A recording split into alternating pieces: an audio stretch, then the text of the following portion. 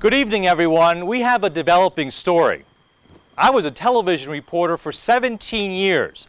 I had the word live over my head just about every night. My name was right here, and I always carried around one of these notepads. But I eventually decided I wanted to start my own business. And that's when I scored. For more on this story, let's go to my business partner and wife, Loren. Loren? Thanks, Keith. Keith and I wanted to start our own business, so we both have strong backgrounds in communications, and we started the Flip Side Communications here in Scottsdale, Arizona. And we offer such services as video production, media relations, and employee communications.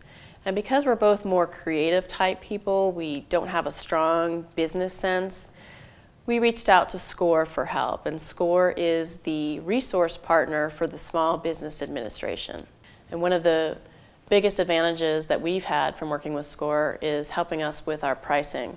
It can be challenging to know how to charge something that's fair to both our clients and fair to us for our time. And our SCORE counselors really helped us find that balance. Back to you, Keith.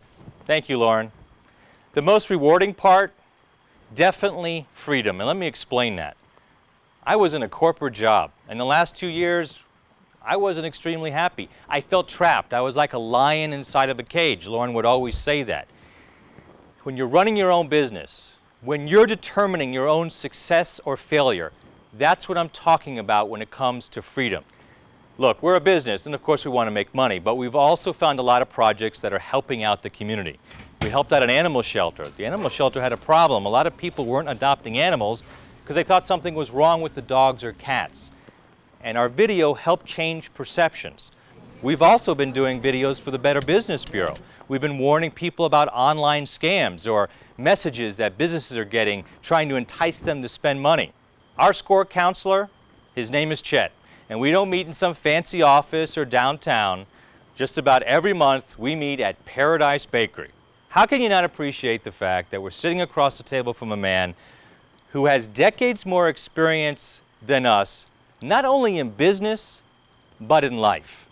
Chet's always there when we need him. Uh, we can have a question pretty much any time of day, and all we have to do is call him or email him, and we get a response back right away, and we see him as a member of our team.